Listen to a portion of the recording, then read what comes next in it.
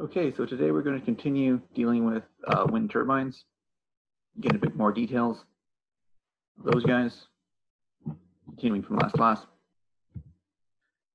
So in terms of wind power machines, uh, windmills, or more properly wind turbines, used for centuries to harness natural power, natural wind power. There's a bunch of different types that have been used. Um, vertical axis drag type, so basically this is the top view of them, wind coming left and right. There's some Savonius types, which again kind of catch the wind in here, spins it around. Same for this guy. So either has two or four kind of blades. Uh, split Savonius. Uh, again, same thing here. Wind comes in, gets caught in this little cup and then spins around in that direction. Um, a cup anem anemometer, same deal. Have these cups catch the wind, get spun around. So there's your vertical axis drag type, basically drag coefficient. Um, in these cups is pretty high, which spins it around. There's a vertical axis lift type. Um, again, wind's coming left and right, but now instead of being the top view, this is the side view.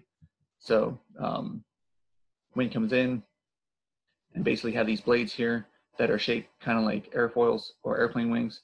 And when the wind hits it, generates lift, and that lift force is what spins it around um, this vertical axis. So there's the Darrieus type. I have a gyromill type, which is more square or helical type. Um, again, all same sort of principle. In the horizontal axis, lift type, um, these are kind of ones we're kind of used to for windmills or wind turbines. Have this propeller type, kind of like the three blade design we've seen. Um, so again, wind's coming in and out of the page, hits this, these propellers, propeller blades again, kind of like um, airplane wings, like airfoils. And that spins these guys around. Um, so horizontal axis, Again, my axis of rotation is horizontal in these cases. Uh, for these guys up here, axis of rotation is vertical, straight up and down. So here's some examples of those. So standard three blade turbine, horizontal axis type, and then this vertical axis type. Um, this is one of those helical ones that we would have seen. In general, my wind turbines classified in two different ways. So we just kind of saw a bunch of different examples of horizontal and vertical axis uh, wind turbines. So that's the first classification, whether the axis is horizontal or vertical. So again, um, axis rotation, my wind is actually rotating around this horizontal axis. Um, for the horizontal ones, wind's rotating around this vertical axis for the vertical ones, obviously. My horizontal axis wind turbines generally have two or three bladed propellers. So That's kind of what we see. Uh, these generally turn at a fairly high speed mounted on a tower along with the electric generator. So there's the electric generator up in here um, that when as you spin it around produces electricity. Uh, those guys can produce power in pretty much any wind um, above a light breeze. So as long as it's of a few miles an hour, that can generally get these blades turning and produce energy. Vertical axis wind turbines generally use um, you know, kind of airfoil designs for the blades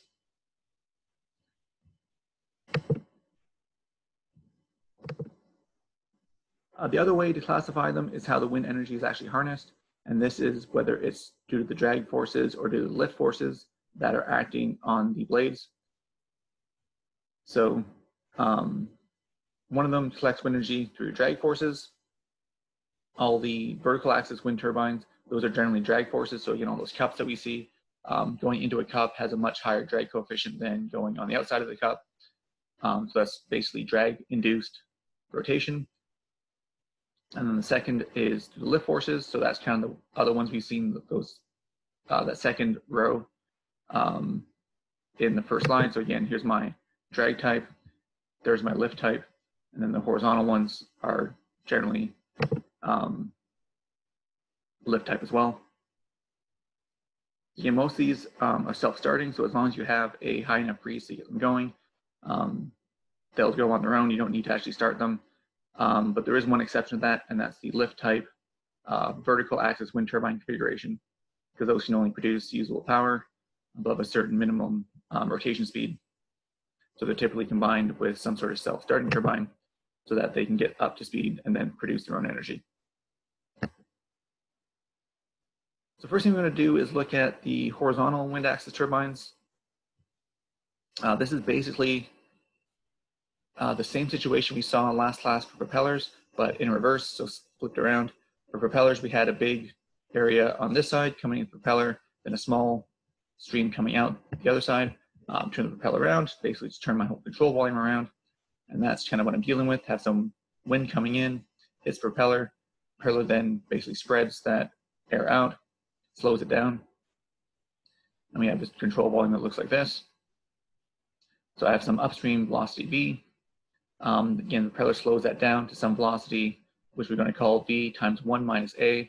A here is called the interference factor, basically just how much um, is the wind speed slowed down by this propeller. And then as it goes through to the very end of my control volume, um, gets slowed down by twice that amount. So V 1 minus 2A is the total velocity coming out of this, and that is kind of my constant velocity at the end that I'm going to be assuming.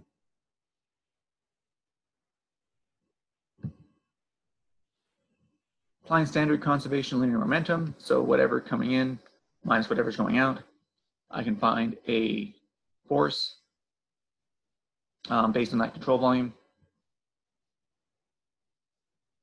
And so I have 2 pi r squared, r being the turbine radius, uh, density of the air, velocity squared, and then it's interference factor a times 1 minus a. So that's my um, axial thrust on the turbine. I look at conservation of energy, so I'm going to be assuming no losses, no change in internal energy, no heat transfer, nothing, no friction. Um, so I'm assuming all my energy gets conserved. Uh, the power exerted from the fluid stream, 2 pi r squared, rho v cubed, a times 1 minus a squared. So that's the power that I'm getting out of it. And then the efficiency of the wind turbine, uh, most conveniently defined using something called the kinetic energy flux. This is essentially how much kinetic energy is in that initial stream of wind so if I was to be 100% efficient, I could take out all of this kinetic energy. Uh, of course, it's not going to happen, um, but that is kind of something I can look at in terms of the efficiency. That is essentially my energy um, going in. So entire kinetic energy um, across my stream tube, one half rho v cubed times pi r squared. So basically one half um, mv squared essentially, um, but just dealing with densities and areas. Total efficiency then, as usual, is power out divided by power in. Power out, um, my equation up here, 2 pi r squared, rho v cubed a, 1 minus a squared. Power in, my kinetic energy flux, 1 half, rho v cubed pi r squared. Uh, the pi r squares cancel out, the v cubes cancel out, the rho cancels out. Um, these twos combine to make a 4. Then I'm basically left with a times 1 minus a squared. So that's my efficiency. Um, depends on this interference factor, how much that um, propeller slows down the turbine. For how much that propeller slows down the wind speed. If you want to find the maximum efficiency, you can do that. Uh, essentially, just take the derivative of the previous expression with respect to a, uh, set it equal to zero. You'll find that that's maximized when a equals one third. So the optimal, um, uh, what's that thing called? The optimal interference factor is one third. Put that back into the expression for the actual efficiency. So put one third back into this equation down here for A, and you'll find you'll get 0.593. So essentially 59.3%. That's the theoretical, theoretical maximum efficiency that you can get from um, these wind turbines, the horizontal axis wind turbines. So that's called the Betz limit. Um, of course, there are some assumptions that, that have gone into this. Uh, I assume the wind turbine um, affects only the air within the stream tube, so nothing outside of that stream tube gets affected at all. Assume the kinetic energy produced as swirl behind the turbines not accounted for, so there's going to be, um, as the propeller spins around, it's also going to kind of spin the air around. I've kind of assumed that's not happening. So there's a certain amount of kinetic energy being lost due to that. That's not accounted for in this 59.3%. So in real life, um, the efficiency is probably going to be less than 59.3%. Also, any radial pressure gradient is ignored. So again, theoretical, best possible case scenario, 59.3%. efficiency for these horizontal wind axis turbines. If we look at a vertical axis wind turbine, um, so situations slightly different here. I have velocity of the wind coming in, so this is the top view. Um, I have these airfoil type blades spinning around the vertical axis, so my airfoil blades are spinning around. They're spinning around at some um, rotational rate, omega, so they have some linear velocity, r times omega. I'm assuming my velocity of the wind's coming in at a constant angle. Um, but then when I look at the lift and drag forces on my airfoil, I need some relative velocity, essentially, um, assuming this guy is stationary. So I need to add the wind velocity and its rotational velocity. So V and this R omega vector to get my relative velocity vector. And that's how I'm going to calculate the lift and drag forces um, for this any airfoil. The lift force acts perpendicular to it. The drag force acts in the same direction as, it, as it's going. And so I'm going to need the angle of attack, um, this value alpha, same as this value alpha up there. Um, that's obviously going to be a function of the azimuthal angle. So where I am, where this airfoil is in its rotation compared to the uh, incoming wind velocity. Angle of attack is going to have a maximum velocity when theta equals 90. So when this guy is basically perpendicular to him, at that point, the angle of attack, um, alpha max, is just inverse tangent of my velocity v over r omega. So in that case, r omega is going to be pretty much straight. I'll have a right triangle. And so tangent opposite over adjacent. Um, this ratio, r omega over v, is sometimes called lambda, the tip speed ratio.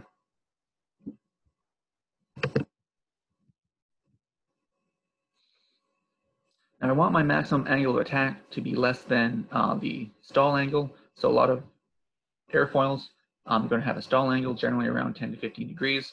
That's um, if the angle of attack is too high, you get a bunch of um, boundary layer separation on the backside of the airfoil. And so you want to stay kind of below that 15 degree limit so that that doesn't happen. If you get uh, that boundary layer separation, you lose your lift. Um, so we don't want that to happen. We want to generate as much lift as possible to get the best possible rotation out of this and most possible energy. So to stay with relatively small um, angles of attack, we want this ratio V over R omega to be a fairly small number, so something like 0.1 or 0.2. Um, that way, um, the tangent of 0.1 or 0.2 keeps us down into, the, into these low, um, low angles. The inverse tangent of 0.1 or 0.2. So my lift and drag forces are going to generate a torque on the rotor. Um, for some given value of alpha, I have L sine alpha minus D cosine alpha times omega R gives me that actual value of the torque. So again, just kind of using geometry, what the lift and drag forces are.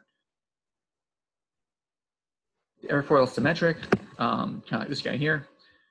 Then my lift coefficient is CL is just M times alpha. Um, M is just some slope of the lift curve. So um, just basically related to the angle of attack. The larger the angle of attack, the larger the lift coefficient, um, again, up to these values. So that's when this relationship ends.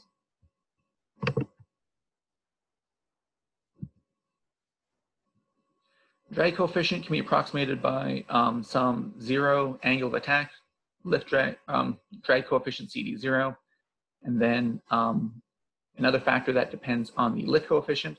So my overall drag coefficient is CD zero at zero angle of attack um, where the lift coefficient is zero, plus CL squared over pi times um, capital lambda, capital lambda being the aspect ratio of the wing.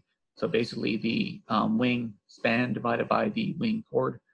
If we look at this picture back here, uh, the wingspan would be the length of this wing um, in and out of the page. So how long the wing is, and the wing chord is from the front edge to the back edge. So basically this distance here um, is my wing chord wingspan divided by wing chord is this aspect ratio. Um, CL and CD, both functions of the angle of attack alpha. Um, alpha is a function of theta. So, um, you know, where this thing is around, as it ro rotates around 360 degrees around the turbine. Uh, so CL and CD are inherently functions of where exactly um, my airfoil is in this rotation. So any quantification of the performance of this guy has to be averaged over the entire range of theta. So as this guy spins around, obviously, um, again, looking back at this picture, if this airfoil is down here, I'm going to get um, better lift and drag, better lift forces and drag forces based on the fact that my V is coming straight in. This guy's straight up and down. Um, if this guy's up here at 90 degrees, I'm going to get worse lift and drag coefficients because it's not hitting the airfoil the way wind's supposed to hit an airfoil, essentially. So averaging over the entire um, range of angles. Again, standard efficiency, useful work out divided by available power in. So useful work out, um, the torque was L sine alpha minus D cosine alpha times R omega. I basically just want to take the average value of this. So the bar just means some sort of average value. And then the average value of the um, available power in the wind is L cosine alpha plus D sine alpha times the velocity V. So that's my overall efficiency. The vertical axis wind turbine. Again, I want to convert those bars into an actual expression of things we know. And so actually doing that, averaging that expression over full revolution from zero to two pi, we get that my efficiency is one minus CD zero times this whole quantity, two over CD zero aspect ratio plus four R cubed omega cubed over V cubed plus V R squared R omega squared uh, divided by one plus CD zero, one over two pi plus three V squared over 2 CD0 uh, aspect ratio r squared omega squared. So just taking those um, two expressions we had before, averaging them over the entire range of alphas and betas gives us these um, kind of nasty expression, but at least we have something where we know uh, for most airfoils, I know CD0, I know the aspect ratio, and then everything else is just velocities.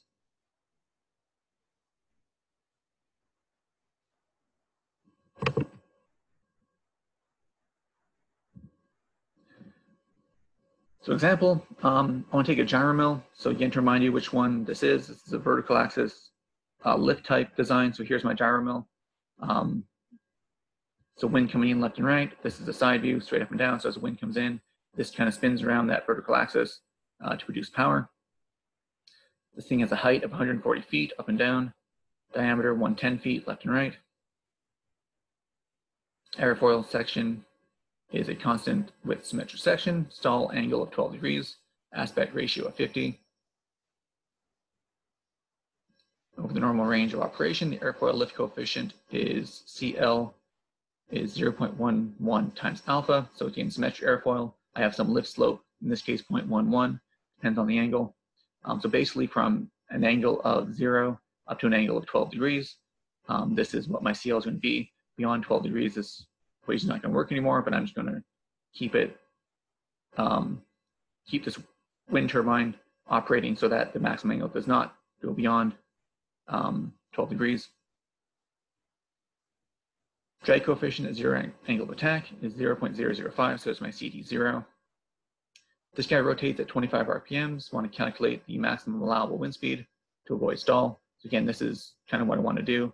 Um, what's the biggest value um, in terms of wind speed that I can get to not exceed this 12 degrees at any point in my rotation. And if my power generated at this, I should say maximum speed condition, 150 horsepower, I want to know what the efficiency is. So I'm assuming standard atmospheric conditions, um, density at STP for air is 0.00238 slugs per cubic feet. Maximum speed, I'm going to get from the maximum angle of attack.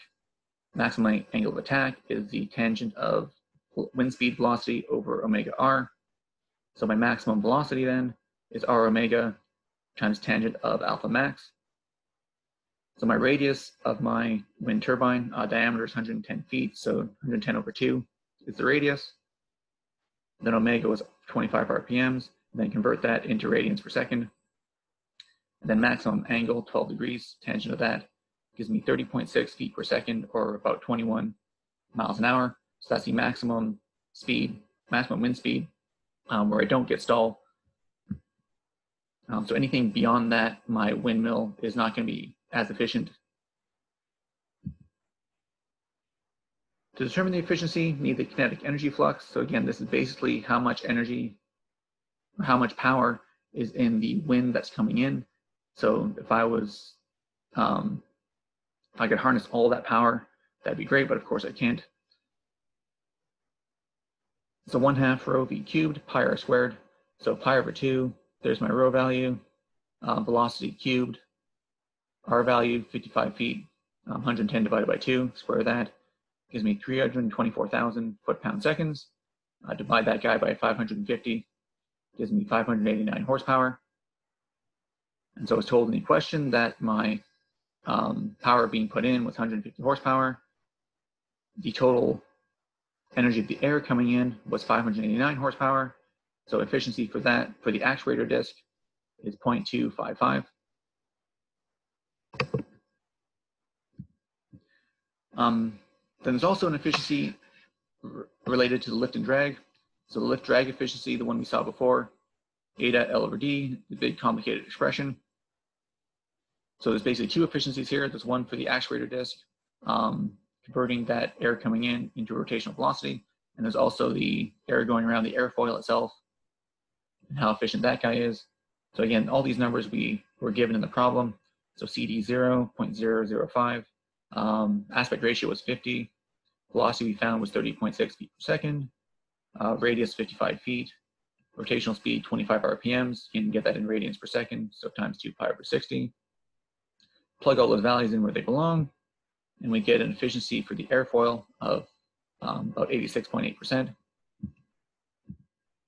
So overall efficiency, um, I want to take both those efficiencies for the actuator disk, 25.5%, and the um, airfoil itself, 86.8%, gives me an overall efficiency of about 22% for this particular gyro mill. Last up, just some few little details. Um, a lot of places have something called the wind rose. It's going to tell you where the wind's coming from. And so you can see two different examples of it here. So the bigger the spike is, the more wind comes from that direction. So see for Palm Springs, for example, a lot of the wind comes from the west. Um, LaGuardia, um, wind comes from the west about 9% of the time, but also comes northwest, also comes from the south a significant amount of time. So nice thing about Palm Springs is you know which way the wind's coming from most of the time. So you basically set up your wind turbine to point in that direction. So that's what they do. They have um, tightly packed rows perpendicular to the wind direction, large spaces downward. Um, so you don't want to have too much behind the wind turbine because that's going to, wind turbine is going to slow down the velocity. And so you want to give it time to speed up again before it hits the next wind turbine. So large spaces downwind.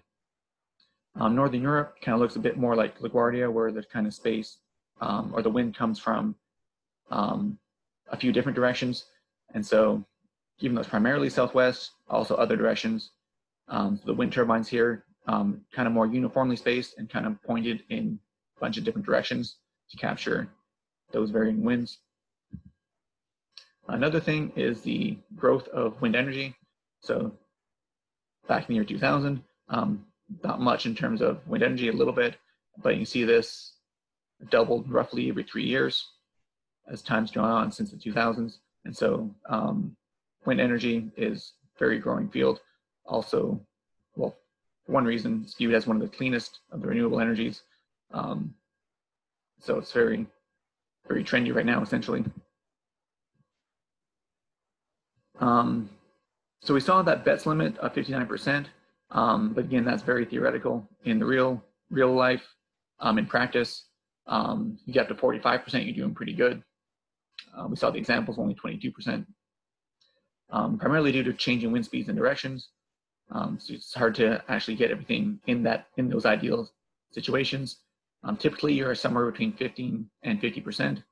Um, again, those higher values are for favorable sites such as Palm Springs, where you know where where um, wind is going, and also due to design improvements. Um, average capacity factor about 32 percent.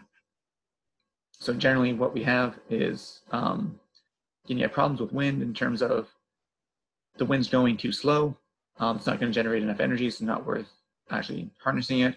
Um, wind can be going too fast, in which case Um, you're gonna lose efficiency. You also want to shut down the wind turbines for those. So in terms of um, average operating regime, it's kind of down here. Um, also don't get these high winds very often. So in terms of how much or how often the wind's actually blowing these high speeds, um, you know, it'd be great to get them, but they don't happen very often. So that's why the most of the operation is down kind of in this yellow box. So that is um, wind energy, basically the last um, topic for this course. So next up will just be a review um, of the big topics for um, that we've dealt with in the past few months. So that'll be next lecture.